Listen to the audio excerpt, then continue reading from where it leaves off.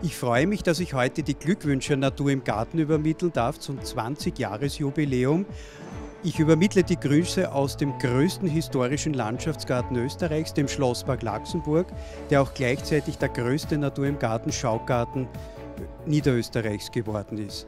Ja, wir leben das in Laxenburg. Es ist uns eine Herzensangelegenheit geworden.